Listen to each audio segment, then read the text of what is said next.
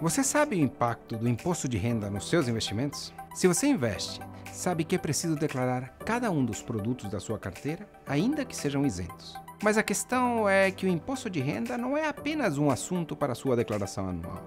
É preciso ter atenção desde a escolha do produto até o resgate do seu dinheiro.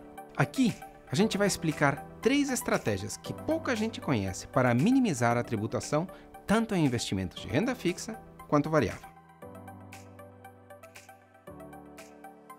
Para entender no detalhe, começamos pela classe de renda fixa, que conta com uma variedade imensa de opções, mas a maioria tem pontos em comum na tributação. O imposto de renda é descontado no momento do resgate, seguindo uma tabela temporal regressiva e incide apenas no valor do rendimento. Por isso, a primeira informação que você precisa saber é o prazo de vencimento ou quando pretende resgatar o título que vai adquirir. A porcentagem da alíquota a ser paga na renda fixa começa em 22,5%, caso o resgate seja entre 0 e 180 dias da aplicação, e diminui com o passar do tempo, chegando a 15% depois de 720 dias.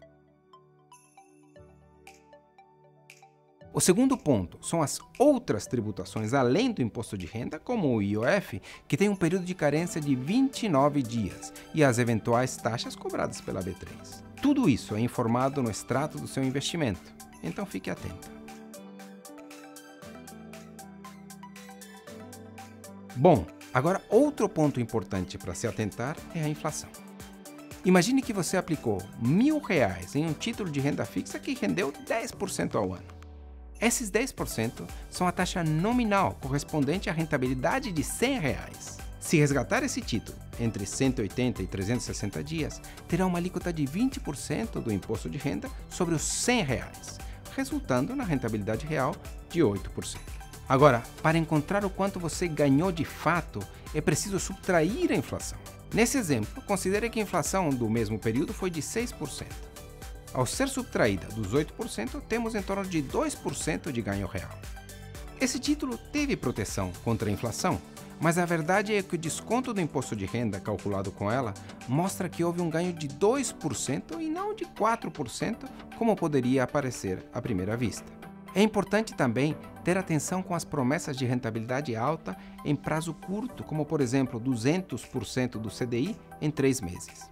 Apesar de parecer alta, essa rentabilidade será proporcional ao período do título, que nesse exemplo são três meses, e sofrerá a incidência mais alta do imposto de renda, que são 22,5%. Assim, é preciso avaliar se após o resgate desse dinheiro você pretende fazer outro tipo de investimento. Se a resposta for sim, é melhor avaliar outras opções que contem com um prazo maior, diminuindo assim o impacto do seu imposto de renda. Agora, quando você investe na renda variável, sabe que perdas podem acontecer. O que precisa ficar mais claro é como isso pode ajudar em novas operações, reduzindo ou até zerando o seu imposto de renda. Para isso, precisa seguir algumas regras. Primeira regra: as perdas só podem ser compensadas desde que os investimentos tenham a mesma operação. Ou seja, operações feitas em day trade compensam com outras também em day trade assim como as operações realizadas no swing trade. Segunda regra: aqui é preciso ter bastante atenção, pois na prática o ativo também indica como será feita a compensação. Por exemplo, ações, ETFs, BDRs, fundos de investimento, entre outros, só podem ser compensados em outros do mesmo tipo de classe, e em alguns casos, somente como swing trading. Para facilitar o entendimento, imagine que você comprou um lote de ações por 25 mil reais e vendeu por 22 mil reais. Aqui você pode compensar essa perda de 3 mil com ganhos líquidos no futuro em investimentos de mesma classificação, desde que não configurem uma operação de day trade. Terceira regra: essa vantagem só é possível quando você declara tanto o prejuízo quanto a compensação. Por isso, é importante ter organização e acompanhar bem de perto.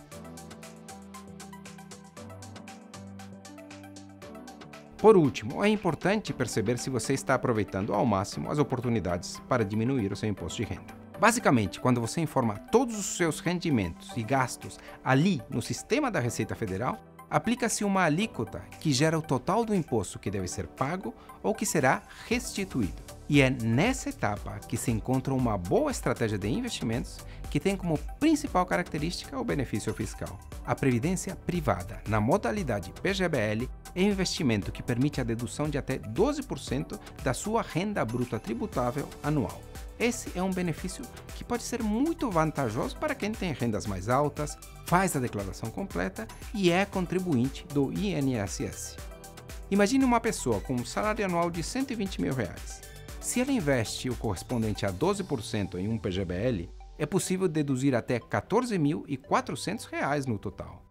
Agora, a sua nova base tributável será de R$ 105.600. O PGBL possibilita diminuir esse teto de tributação.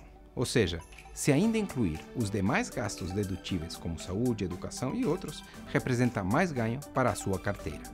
Agora, o melhor dessa estratégia é que você aproveita em dois momentos tanto agora com o benefício fiscal para sua declaração de imposto de renda, quanto no futuro, com os rendimentos de uma previdência privada para sua tranquilidade financeira. E o VGBL?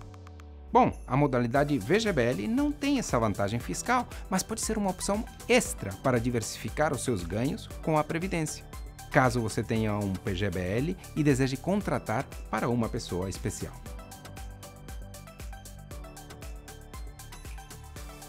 Mesmo com essas alternativas para minimizar o impacto dos seus investimentos, o imposto de renda está aí e não dá para fugir do leão. Mas para te ajudar, temos um curso completo lá no IonEdu, a plataforma de educação sobre investimentos, com dicas práticas para a declaração. É online e gratuito. Basta clicar no link da descrição e acompanhar. Por hoje é só, obrigado pela companhia e até a próxima.